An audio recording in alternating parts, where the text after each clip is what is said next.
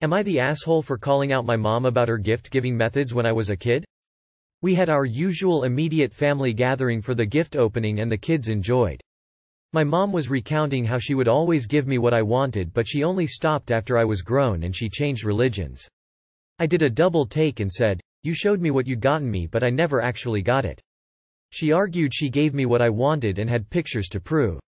Now my mom had a habit of buying me what I wanted for Christmas, allowing me to take the wrapping off, take pictures of me with the gifts but take the actual present from me and putting it away saying, I got you this but you're on punishment so you can't have it now. Then I would never see it again.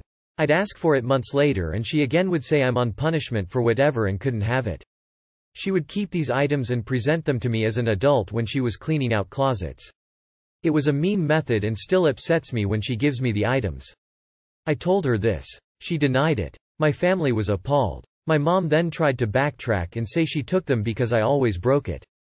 I say how can I break it if I never got them and you're giving me the pristine items as an adult. She didn't have an answer so I let it go and we carried on. Later, she approached me and said I embarrassed her in front of the family and it was unfair. I apologized but I didn't think it was fair to act like she'd always given me what I wanted when she didn't. She's still quite upset with me. Am I the asshole for calling her out? Edit. I see a few asking why I'm still in contact with her. Honestly because I'm a softie and she's my mom. There was a couple of years I did go NC and it was hard but I used that time to find my footing emotionally. During that time I met my hubby and his family and friends. That experience opened my eyes to how a healthy family functions. It was magical for lack of a better term. They all accepted me with love and open arms. Once I had a real foundation to build on, we started our family. I'm LC with my mom now but I didn't want to deny her her grandkids. We've discussed a lot of the things done over my childhood and I've gotten similar responses from her. It hurt and sucked but I feel I got what I needed off my chest and instead of holding a grudge for something I can't change, just move forward within my own set boundaries. We have hiccups but all in all, I'm okay. Not great, but okay. Thank you everyone for your kind words and advice. I really appreciate it. Green Heart. Edit 2. For those concerned about my kids. I have set boundaries with her about my kids. If there's an inkling of any treatment she gave me, she's cut. She knows this and has not tested it. I also don't leave her alone with them. I don't play about my babies. Why on earth did you apologize for telling the truth? Not the asshole. I'd retract the apology. So your mom would buy you a gift, take pictures of you unwrapping it, then took it away for some bullshit reason, probably to return it and get her money back. Yeah, that's going to catch up with you one day. Not the asshole. Not the asshole. If it had truly been a punishment she wouldn't have been embarrassed. It also shows she knew it was wrong but did it anyway. So fuck her. Let her be embarrassed. That's emotional abuse from your mom. Both the gift shit as a parent and now. You probably could have brought it up in a way that wouldn't cause her to get defensive. But could and should are two different things. I'm really sorry you had to deal with that BS. Not the asshole. And also like, what the fuck? Dude your mother has some issues. Not the asshole. Your mom was abusive. You didn't even complain about that until she wanted to be seen as a good parent. She deserved every ounce of embarrassment she got. You didn't have to apologize really. If she was that abusive with gifts I'm concerned about how she otherwise treated you. You're not the asshole, she is. Not the asshole. My dad used to do the same thing but for the smallest things. Didn't eat my vegetables? Say goodbye to your presents. Five minutes late for curfew? I had to quit orchestra. No one ever likes to be reminded that they didn't handle things well as a parent but guess what, it's the truth. Not the asshole. What your mum did was cruel and she deserved to be called out for it. I'm just upset that you apologized at all. Did she ever apologize for her actions? Am I the asshole for refusing to host Christmas and ruining my husband's dream? So my husband, 31M, has always loved Christmas and everything even remotely related to it, while I don't really care, 31F. Since my family is not Christian nor do they live in this country, we usually end up spending the holidays with his family. He has always lived in a large household and everyone there shares the same enthusiasm for Christmas he has which always makes it fun. The problem is that now my husband said that he wants us to host Christmas at our house the next year and I was like okay sure. Until he clarified he meant that I gad to host it prepare the dinner and do all the grunt work. Now I have no idea what goes into Christmas. My family is from a different religion and my childhood only consist of me and my dad so holidays have never been a huge deal for me. I don't know how to do all the stuff required. He had already told them we'd be hosting Christmas and I got mad and said how can you say that without even asking. So I told him clearly that it's not my responsibility to host Christmas for your family since I don't really care one way or another but now he is accusing me of ruining his lifelong wish and he ended up telling his mother about it so no my MIL and SILs are blowing up my phone by saying why am I being such a Grinch. He has been sulking ever since we came back last night. I'm firm on my stance but I am still wondering since it's just a one-time thing I should just suck it up. Not the asshole. Why can't he do the work? What are you, his employee?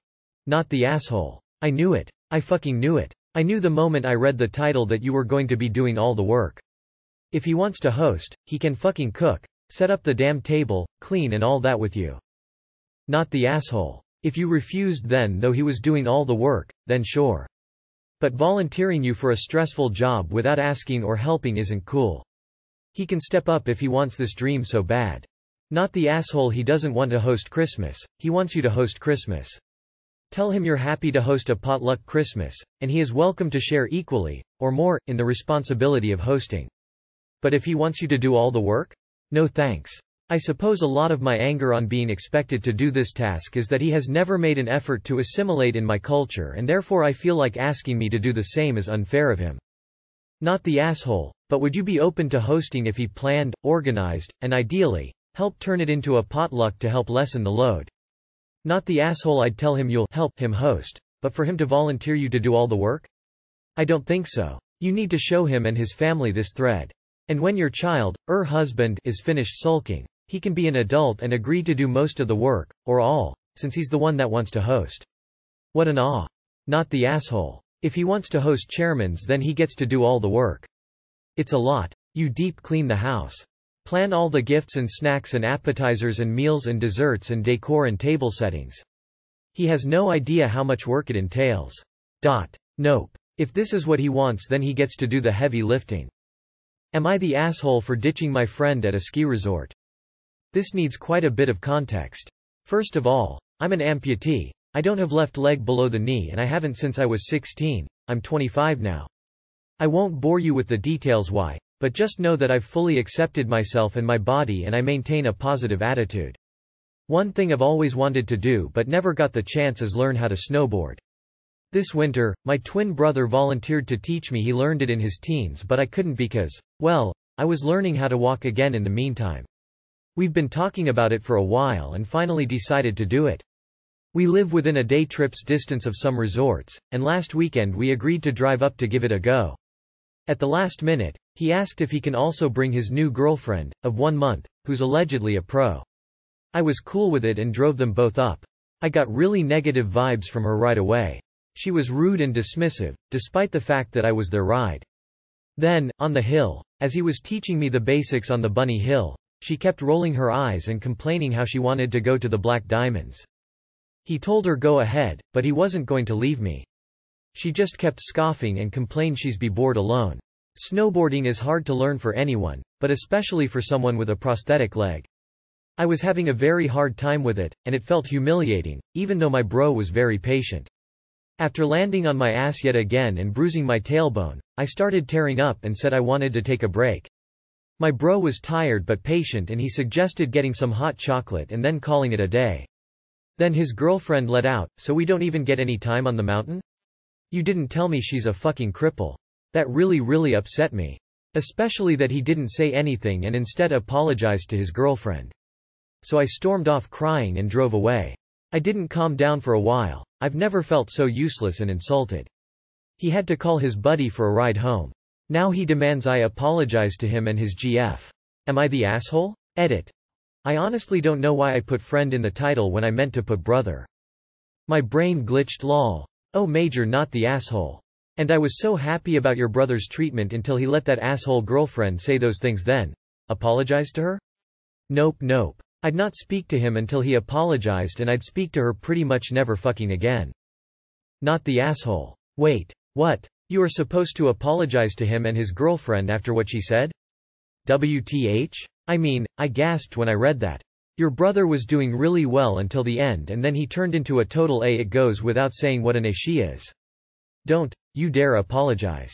I swear, I would go NC with both of them. I am so totally pissed right now. I am giving you a virtual hug. You deserve to be treated significant other much better. Not the asshole and your brother needs to take some stock here. Does he really want to tie himself to someone who's obviously self-absorbed, selfish as hell, inconsiderate, and happy to call his sister with a prosthesis a cripple? Not the asshole. Also, check out. They train amputees to snowboard. Sometimes, you need people that, get it, to learn from.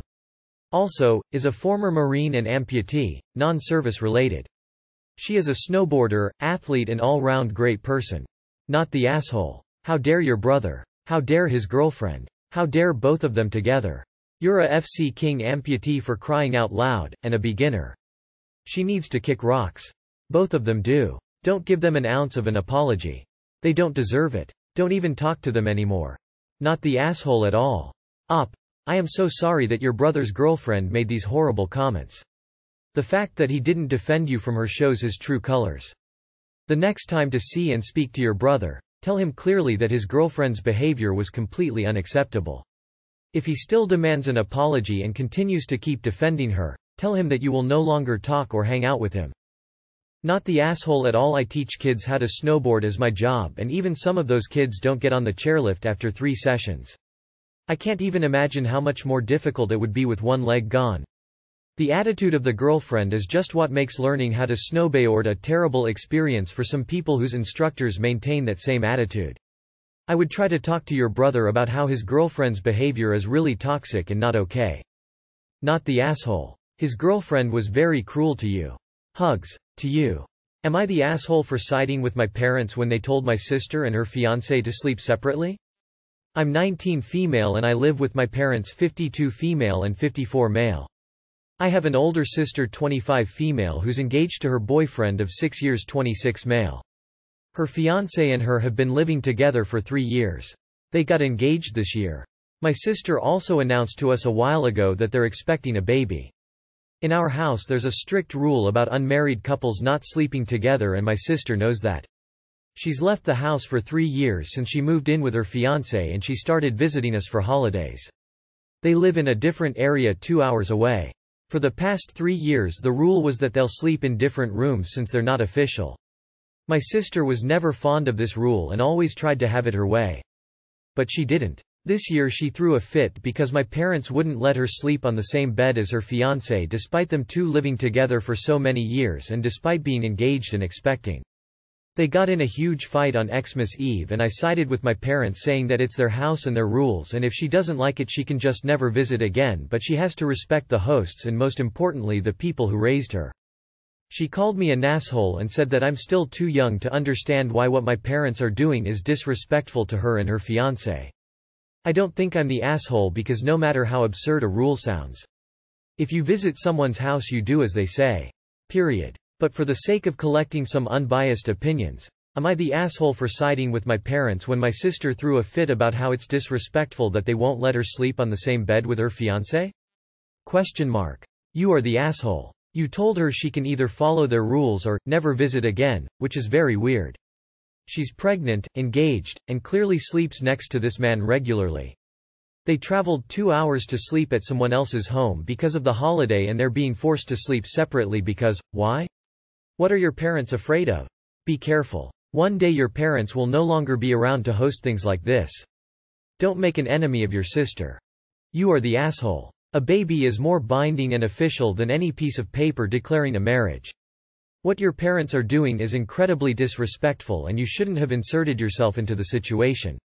You are the asshole, keep your nose out. Did you enjoy creating a bigger issue? This is such a daft rule for parents to have.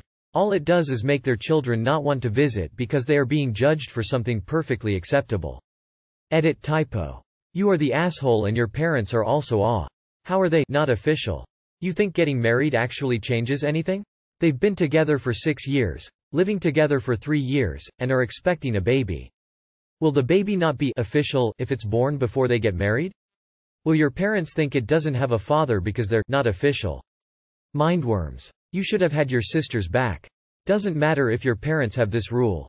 It's dumb, and controlling and infantilizing, when you're talking about a long-term relationship between actual adults. Do you follow every single rule? Will be interesting to see what happens when you are in a long-term relationship but not allowed to sleep in the same room as your partner.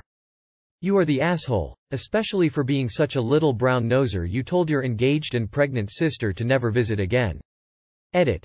Holy crap thanks for the silver. You are the asshole in a couple of ways, but you already knew that or you wouldn't be here asking. 1. Not your fight whatsoever. Keep your nose out of others' business. 2. They're not official, how official do you want? They're living together for years, engaged and pregnant. Your parents are ridiculous morons who will be the one saying, why can't we see our grandchild? When your sister writes you all off. You are the asshole. I'm just wondering if you're going to keep the same energy when the roles are reversed. You are the asshole. It's tough but I've dated women with parents like yours and the situation was always made worse when we didn't even have her sibling support. It's a stupid arsed rule to say you can't sleep in the same room until you're married, they're engaged and expecting a baby FFS. Your parents don't realize but all this will do is stop them wanting to come over.